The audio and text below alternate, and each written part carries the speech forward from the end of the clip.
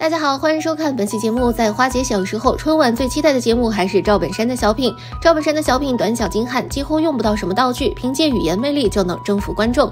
当年有很多小品演员都非常厉害，除了赵本山以外，还有高秀敏、巩汉林、范伟、冯巩等。但是在父母辈的观众脑海中，有一位德艺双馨的老前辈，却是他们的童年记忆。这位前辈就是已经辞世多年的赵丽蓉老师。赵丽蓉老师最经典的小品就是《打工奇遇》。在《打工奇遇》中，赵丽蓉老师幽默风趣的表演方式，成为几代人的回忆。小品立意深刻，提醒了商人做生意时要诚信守法。赵丽蓉老师在小品最后还展示了书法。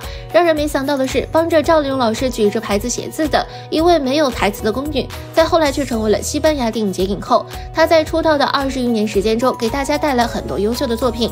这位当年默默无闻的宫女就是董洁。董洁前段时间还参加了综艺节目《乘风破浪的姐姐二》。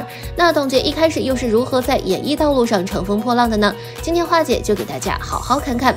一九八零年出生的董洁，在十岁时候被特招入伍，进入了兵士歌舞团，后来又去北京解放军艺术学院学习舞蹈。五年后，董洁成为了一名舞蹈演员，在歌舞团的节目中担任领舞。颇具灵气的她，在机缘巧合下登上了央视春晚舞台。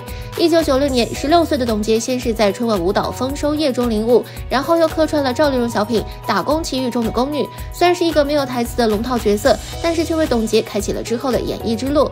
少女时期的董洁纯真可爱，圆圆的脸淡清澈的眼神让很多导演、制片人关注到了他。于是，在两千年的春晚中，董洁搭档谢霆锋一起表演了歌曲《今生共相伴》。这下，董洁成为了人气新人，很多电视台都邀请她去做表演的嘉宾。但是，董洁进入演艺圈还是从一部电影说起。这部电影就是二零零零年上映的《幸福时光》，由莫言的中篇小说《师傅愈来愈幽默》改编，同时也是张艺谋导演的首部贺岁电影。在筹备的时候就受到了各方的关注，光是选女主角，制作方就搜罗了四万名女孩。董洁在女主角选拔试戏活动中一路杀到最后，从从最后三名候选中脱颖而出，成为了幸福到最后的谋女郎。董洁在电影中搭档赵本山，共同演绎了一个温情的谎言故事。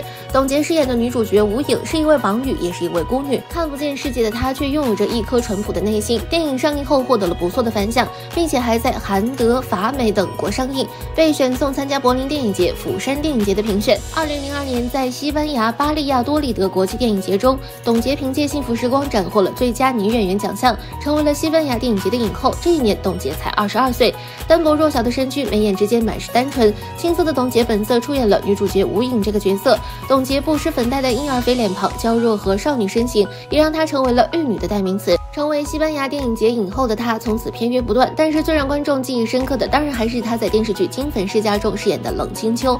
在剧中，董洁饰演的冷清秋身穿一身淡蓝色民国女学生裙装，左手撑着一把油纸伞，右手捧着一盆百合。她微微转身，回眸一笑，青春美好好的样子让观众记忆了十几年。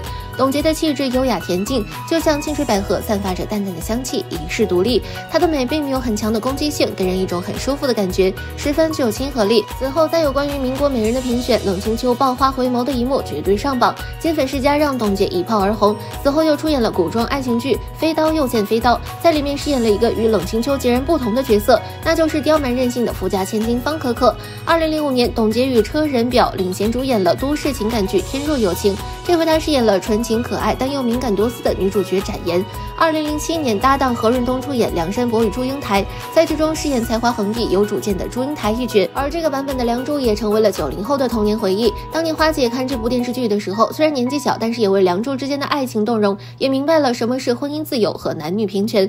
董洁就这么一步步稳扎稳打，出演了很多口碑好剧，奠定了在观众中的形象，积累了观众缘和人气。在个人生活方面，董洁二零零五年因电视剧《红衣坊》与潘粤明相识相恋，二零零八年两人领证结婚，育有一子，但却在二零一二年离婚。大家都知道的是，董洁与潘粤明离婚一事闹得非常难看，当时的舆论是倾向董洁的，这也让潘粤明的。形象一度跌地，但后来事件反转，董洁和演员王大治不清不楚的关系被爆出，到底谁是婚姻中的刽子手？恐怕是公说公有理，婆说婆有理了。因为受到离婚事件的影响，董洁在二零一二年后虽然也有作品播出，但始终回不到当年的盛况了，一直处于不温不火的状态。让她重新清晰的回到观众视线中的，还是2018年的《如懿传》。